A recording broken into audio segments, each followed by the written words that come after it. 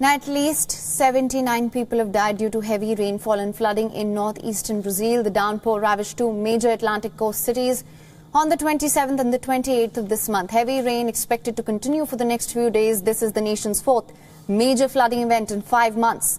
Regional Development Minister Daniel Ferreira said that over 50 people were missing, at least 25 injured, close to 4,000 homeless, and around 530 people displaced. In addition to the death count, the heavy rain led to landslides that wiped away hillsides, urban and neighborhoods. President Jair Bolsonaro is set to visit the affected areas as well. The Alagoas 33 municipalities, they have declared an emergency due to the effect of heavy rain.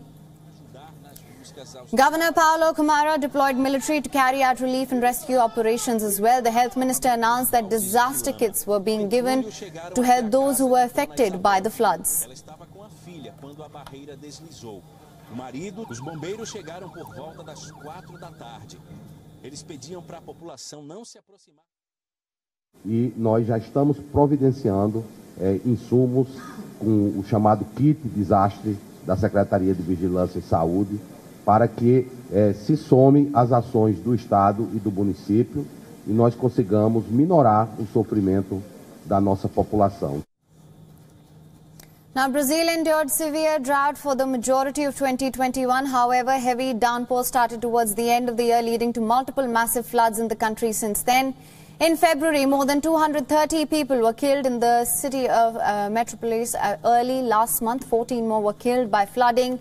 Landslides in the state as well. Experts say Brazil's rain season downpours are being augmented by La Nina, the cyclical cooling of the Pacific Ocean, and by climate change. Risk from heavy rain augmented by topography, poor construction, built in steep areas for towns. And now many neighborhoods have been built in locations that are vulnerable to land and mudslides. And this has also called the nation's urban planning into question.